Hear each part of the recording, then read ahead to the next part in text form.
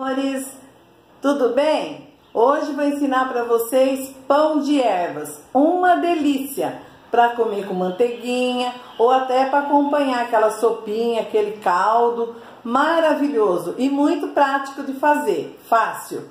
Bora lá ver os ingredientes? A gente vai estar tá usando aqui, olha, para o recheio do pão, né? Vamos estar tá usando, ó, eu tô colocando uma cebola, cinco dentes de alho. Aqui eu tenho orégano.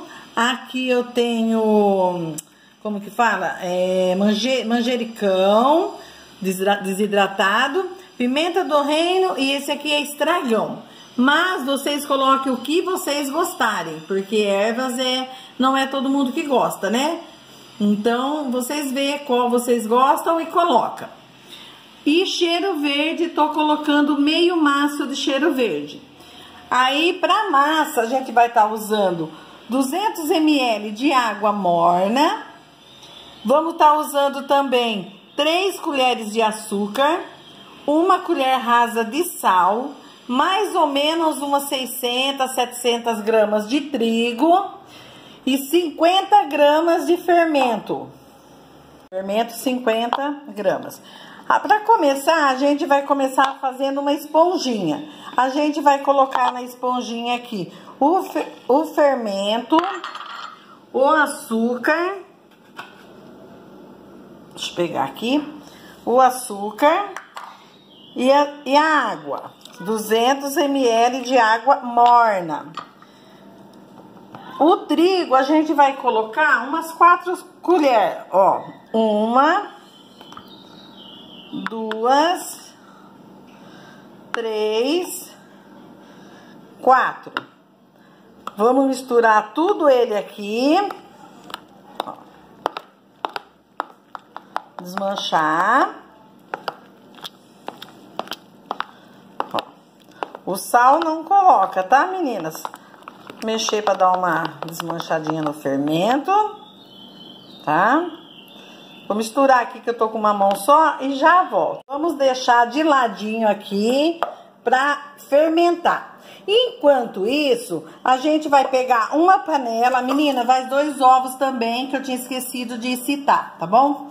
Olha, numa panela, vamos colocar as duas colheres cheias de margarina, tá vendo? E todos esses, todos esses temperinhos que são a cebola, o alho e a ervas, né? Vamos colocar tudo aqui, olha. Ó. Vou levar no forno pra dar uma murchada, porque tem, a gente vai usar ele frio. Então, o que, que a gente faz? Vamos levar no, fo no fogo pra dar uma murchada. Assim que murchar, a gente desliga, deixa esfriar.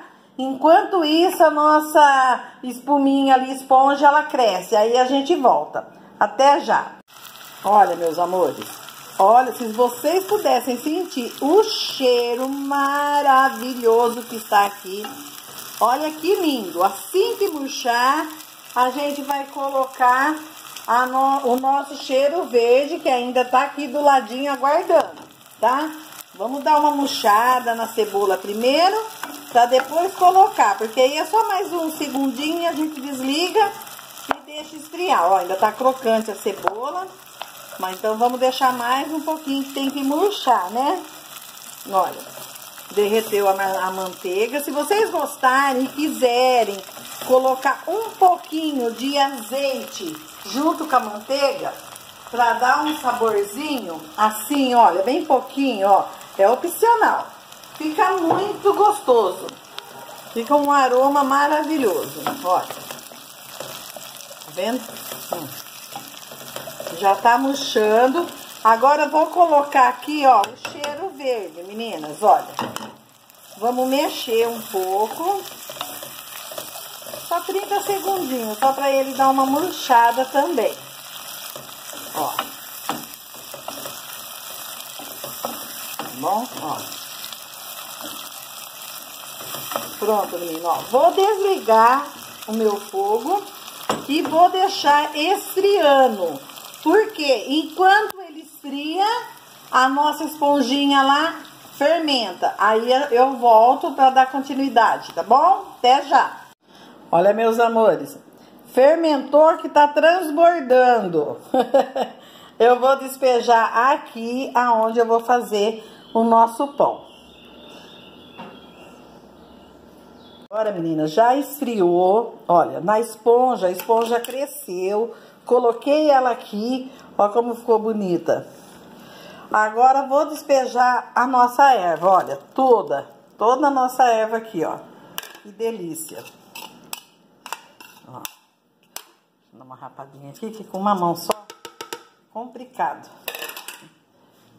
Olha. Mexer, olha que delícia. Vamos colocar aqui também o sal. Vamos mexer o sal. E os ovos.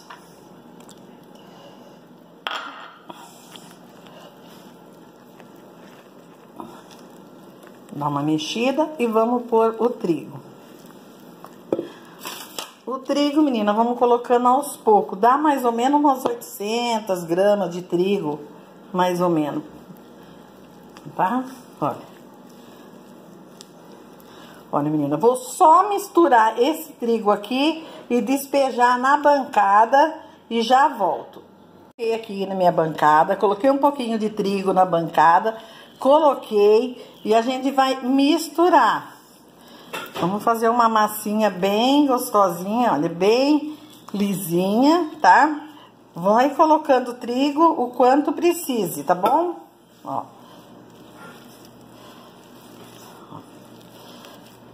Só isso agora. Nós vamos só amassar. Eu vou amassar aqui, porque eu tô só com uma mão, com a outra eu tô segurando o celular. É um pouco difícil. Aí, só vou amassar e volto pra mostrar pra vocês.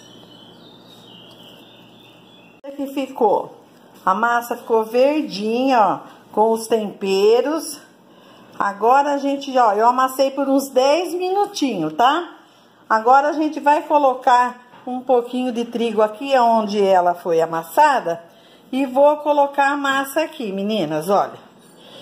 Vamos tampar, vou colocar aqui ou com um pano, com um pano ou com um plástico, tá? E vamos aguardar ela dobrar de volume, tá bom? Ó, vou coloquei ela aqui, vou deixar ela aqui, assim que dobrar de volume eu volto. Um calor que em 20 minutinhos ela encheu a vasilha. Olha que maravilha, como ela cresceu. Agora eu vou colocar ela aqui na minha bancada, vou cortar e volto. Em quatro pedaços mais ou menos iguais, né? Não pesei. Vou fazer os pães, né? Só vou esticar com o rolo e enrolar, né? Os pães e volto. Porque com uma mão só é impossível, né? Mas eu vou dar uma esticadinha com o rolo, vou enrolar e já volto para mostrar para vocês. Ah, menina, outra coisa, antes que eu me esqueça, quando vocês refogarem os temperos, não coloque quente na massa, senão vai cozinhar o fermento e ele não vai crescer. Deixa esfriar bem para depois vocês misturar na, na massa. Não coloque aquelas ervas quentes, senão o pão não cresce, tá bom? Volto já. Como ficaram lindos. Deu três pães. Essa quantidade deu três pães grandes. Agora vou deixar eles crescerem. Depois eu levo ao forno. Assim que tiver assado, eu mostro pra vocês. Vou deixar aqui em cima do balcão. Só vou jogar um guardanapo por cima e deixar aqui crescendo. Assim que crescer, vou levar ao forno e volto quando tiver assado para mostrar o resultado para vocês. Até já! Lindo que ficaram o nosso pão. Olha que maravilha! Tá assadinho, moreninho. Eu vou desenformar, esperar esfriar um pouquinho porque tá muito quente. Vou desenformar e cortar um para vocês verem. Até já! Delícia! Olha essa massa! Olha que delícia, ó! Olha aqui, menina, olha, fofinho, ó. Olha que lindo que ficou. Deixa eu pôr pertinho pra vocês verem, ó. Super fofinho, olha. Assadinho, ó. Maravilhoso. Olha que coisa mais linda. tá bom? Espero que vocês tenham gostado do vídeo. Não esqueça de entrar lá no meu canal, dar um joinha, se inscrever, compartilhar, para poder e acionar o sininho para toda semana receber vídeos novos, tá bom? Até o próximo vídeo. Fiquem com Deus. Tchau.